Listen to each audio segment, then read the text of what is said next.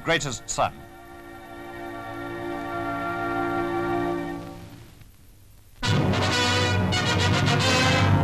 When General Eisenhower, American president-elect, went to meet Mr. Churchill, his visit was naturally a big news story. The meeting took place at the New York home of Mr. Bernard Baruch, Mr. Churchill's host, who sat between the two great men for the posed photographs.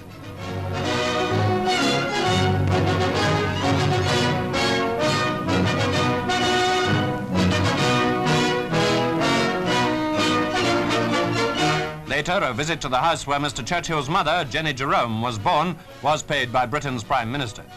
It was natural that quite a crowd should collect on such an occasion. The house is in Henry Street, Brooklyn, and Mr. Churchill's daughter Sarah accompanied her father. It was she who had unveiled a commemorative plaque on the house last year.